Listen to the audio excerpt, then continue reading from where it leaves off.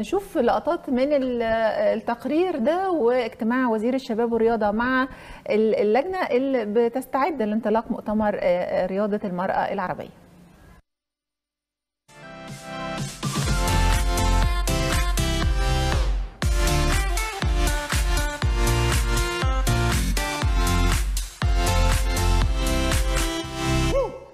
نتحدث اليوم عن المؤتمر الدولي لرياضة المرأة والذي سيقام في العاصمة المصرية القاهرة خلال الفترة من 27 إلى 30 مارس 2019 وفي الحقيقة آه، لما بنتحدث عن هذا الحدث بنحكي أنه سيكون الحدث الأهم والأكبر لرياضة المرأة في العام المقبل. آه، لعدة أسباب آه، يمكن السبب الرئيسي إقامة هذا الحدث الهام في مصر ونتحدث عن مصر البلد العربي الشقيق الذي